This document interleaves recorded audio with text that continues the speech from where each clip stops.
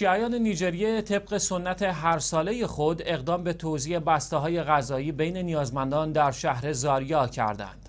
این اقدام انسان دوستانه امسال در حالی انجام شد که گیرندگان این بسته های غذایی از سوی تعدادی از سنی های تندرو مورد تهدید و هجوم واقع شدند.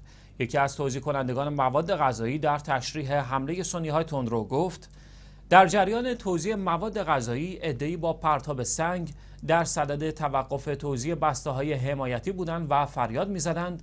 ما اینها را نمی‌خواهیم. به افزود مهاجمان که چاقو و قمه در دست داشتند سپس به در منازلی که مواد غذایی را دریافت کرده بودند رفتند و آنان را مجبور به پس دادن مواد غذایی کردند و غذاها را در خیابان ریختند. پلیس مدعی شد که تعدادی از مهاجمان را دستگیر کرده اما گفته می شود این افراد بدون انجام تحقیقات بلافاصله پس از دستگیری آزاد شدند.